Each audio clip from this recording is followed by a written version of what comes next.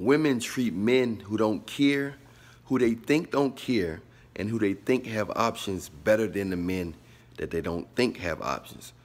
You see what I'm saying? And the men who care. If you're a man and you care, and a woman think you care, that's when the games begin. Women are, when they first meet you, they're very conscious. They're very cognitive of your interest level. That's what they want to see. Oh, he's easily won over. He must not have much women in his, many women in his life. He's already wants his mind. uh, He's already have too much time for me. They saying he got so much time for me. He must not have no other women. And they want you when you have other women. They don't want you if nobody else don't want you.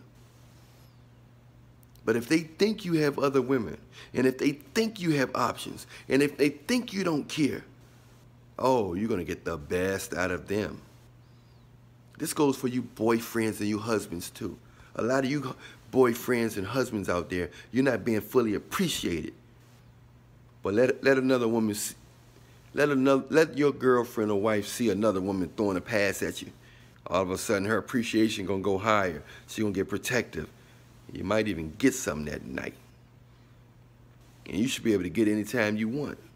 But the fact that she think you the best she can get, she think sometimes your wife thinks she better than you, and that's why she don't want to give you none. Everybody wants. These women want. They want somebody they think don't need them, somebody that's better than them. They want to feel like they get more out the deal. These women always measuring stuff.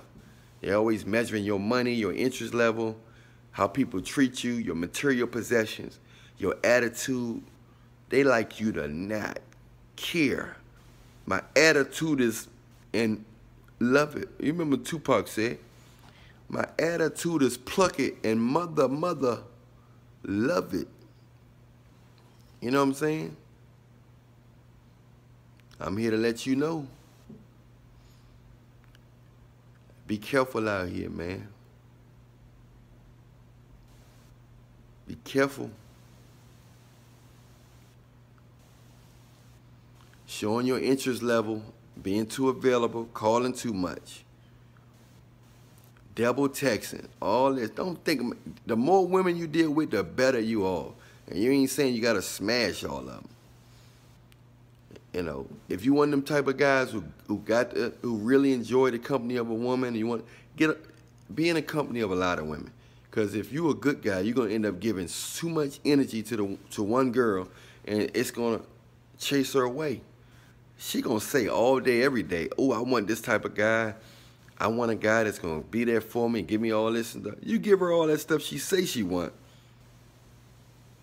If you give her all that stuff she say she want,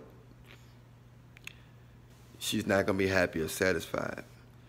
They only satisfied when you act like you don't need them, don't want them, can do better, had better, got better, are better, better. They only respect better. And you have to have that attitude with it. Your attitude got to be like, Psh, I ain't think about you. I don't care. oh, I don't care what other guys you get with. I don't care who. You, if you leave me, you ain't gotta never call me no more. Once they know you don't care, they ain't going nowhere. But if they think you care, they gone. If they think it's gonna hurt you, oh, they're gonna hurt you. If a woman feel like she can hurt you, guess what, buddy? Guess what, buddy? She's going to hurt you. Ain't no ifs, ands, buts about it. I know that sound kind of crude, sound kind of crude, don't it? Sound kind of cold, right? Yeah, she's going to hurt you. But why? Why would she do that? They want power. They want power, bro. It's all about power. It's not about love with them. You know why? Because it's all about power with the devil. I keep telling you all of this is spiritual, bro. You better get on your knees and pray. You better get on your knees and pray in Jesus' name. in Jesus' name. Make sure it gets to the right server. There's a lot of demigods out there. If you say the wrong name, they're going to come up and appear. Saying a person's name is powerful in the spiritual world. Names got power. Make sure you say in Jesus' name. You say in any other name, some, some other entity going to come up, but it's not going to be of God.